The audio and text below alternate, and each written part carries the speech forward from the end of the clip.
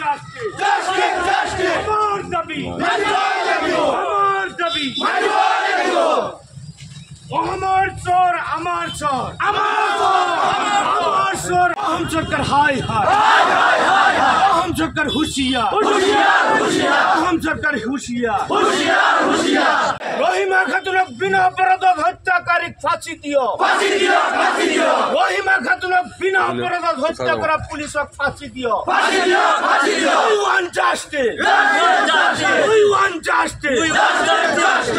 চৰকাৰে কিয় কৰিছিল?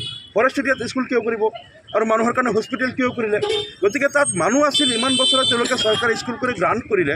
এতিয়া হঠাৎ এইটো ফৰেষ্টৰ মাটি বুলি মানুহক উচ্ছেদ কৰি দিলে স্কুলবিলাক তাত নষ্ট কৰি দিলে। তেনেহ'লে ইমান টকা কিয় খৰচ কৰিলে?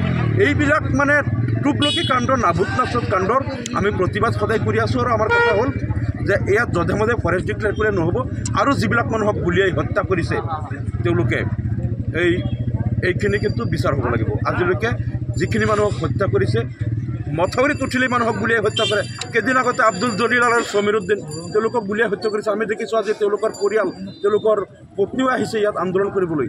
এতিয়ালৈকে হত্যাকাৰী এজনো বনৰক্ষীক কিন্তু গ্ৰেপ্তাৰ কৰা নাই। তেওঁলোকক কোনো ধৰণৰ ক্ষতিপূৰণ দিয়া নাই। গতিকে আজি যুৱ মৰ্চাই যিটো আন্দোলন কৰিছে তাৰ প্ৰতি আমাৰ সম্পূৰ্ণ সমৰ্থন আছে। আৰু আমি দাবী কৰিছোঁ চৰকাৰে প্ৰত্যেকটো দাবী মানিব লাগিব। আৰু আমি আমি বিচাৰিছোঁ হত্যাকাৰীক শাস্তি দিব লাগিব শাস্তি দিব লাগিব। আৰু যিসকল নিহত হ'ল তেওঁলোকৰ পৰিয়ালক ক্ষতিপূৰণ দিব লাগিব। আৰু আহতসকলক ক্ষতিপূৰণ দিব লাগিব। আৰু বন বনৰক্ষী যে আজি বনদস্যু হৈ গ'ল বনৰক্ষী নহয় অসম চৰকাৰৰ হিমন্ত বিশ্ব শৰ্মাৰ বনৰক্ষীবিলাক আজি বনদস্যু হৈ পৰিছে। দস্যুৰ নিচিনা তেওঁলোকে গৈ পেলাই যাকে তাকে য'তে ত'তে তেওঁলোকে টেক্স ধৰে। আৰু তেওঁলোকক মানে বিভিন্ন বাহানাত এটা মটৰ চাইকেল লৈ কোনোবা চৰৰ মাজেদি গ'লে দুশ টকা দিব লাগে এটা টেম্পু গ'লে পাঁচশ টকা দিব লাগে। কোনোবা যদি মাইকী মানুহে তাত গৈ শাক পাচলি বুটলে তেওঁলোকৰ পৰা শাক কাঢ়ি ৰাখি দিয়ে নহ'লে টকা বিচাৰে।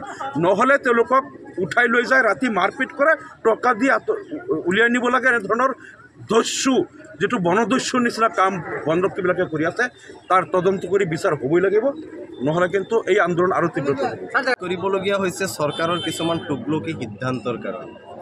চৰকাৰ ৰাইজৰ আমি সদায় জানো আৰু চৰকাৰ ৰাইজৰ সুবিধাৰ্থে জনগণৰ সুবিধাৰ্থে এতিয়া দেখা গৈছে জনগণক অত্যাচাৰাৰ্থেহে চৰকাৰে কাম কৰি আছে। চৰকাৰৰ কাম হ'ল মানুহক আশ্ৰয় দিয়া। মানুহৰ গৃহ নিৰ্মাণ কৰি দিয়া যাৰ কাৰণে প্ৰধানমন্ত্ৰী আৱাস যোজনা দিয়ে। আৰু আনফালে এতিয়া চৰকাৰৰ কাম হ'ল মিয়াৰ ঘৰ ভাঙি মিয়াক জংঘলত জংঘলৰ নামত মিয়াক মানে কুকুৰ মেকুৰীৰ নিচিনা ব্যৱহাৰ কৰি পেলাই তেওঁলোকে তেওঁলোকৰ ৰাজনৈতিক মুনাফা আদায় কৰা।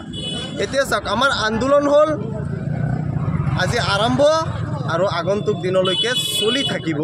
যেতিয়ালৈকে আমি যিটো সীমা জানো যে ব্ৰহ্মপুত্ৰই হ'ল নগাঁৱৰ উত্তৰ সীমা ব্ৰহ্মপুত্ৰৰ মূল সতীৰ দক্ষিণে শোণিতপুৰ জিলা প্ৰশাসনে যিটো অবৈধ আগ্ৰাসন চলাইছে ইয়াৰ বিৰুদ্ধে যদি অসম চৰকাৰে যদি এতিয়ালৈকে স্থিতি স্পষ্ট নকৰে আলোচনা মৰ্মে যদি ইয়াৰ সিদ্ধান্ত গ্ৰহণ নকৰে তেতিয়াহ'লে আগন্তুক দিনত আমি ৰাইজ একত্ৰিত হৈ বাধ্য হ'ম যে শোণিতপুৰ জিলা প্ৰশাসনৰ এই অবৈধ আগ্ৰাসন আমি ৰাইজে আঁতৰাই দিম। কাৰণ চৰকাৰ কাৰ কাৰণে? চৰকাৰ কাৰ ৰাইজৰ? গতিকে ৰাইজক অসুবিধাত পেলাই তেওঁলোকে বনাঞ্চলৰ নামত মানুহৰ ঘৰ বাৰী ভাঙিব তেওঁলোকে বনাঞ্চলৰ নামত অবৈধভাৱে যধে মধে তেওঁলোকে দখল কৰিব ফেঞ্চিং বান্ধিব এইটো ক'ত পাইছে? বন কি বনৰ অভাৱ পৰিছে নেকি?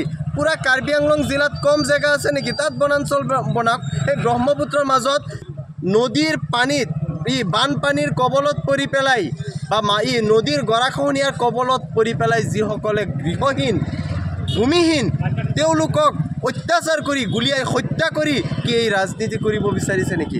গতিকে ৰাইজৰ সুবিধাৰ কাৰণে মই অসম চৰকাৰক আহ্বান কৰিম আমি যে আপোনালোকে ইতিমধ্যে অতি শীঘ্ৰে এই বিষয়টো গুৰুত্ব সহকাৰে লৈ ইয়াৰ এটা উপযুক্ত সমাধান দিয়ক।